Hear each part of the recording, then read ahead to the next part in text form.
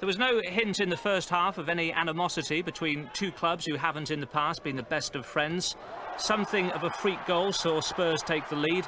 Wimbledon keeper Hans Segers' sloppy free kick, straight to Darren Anderton, and he took full advantage. With an hour gone, Wimbledon's Brian McAllister was sent off after catching Paul Allen with his elbow as they leapt for the ball.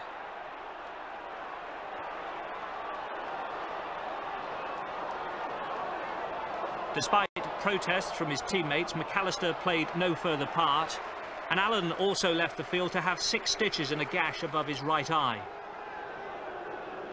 Down to 10 men, but Wimbledon grabbed an equaliser through Robbie Earle.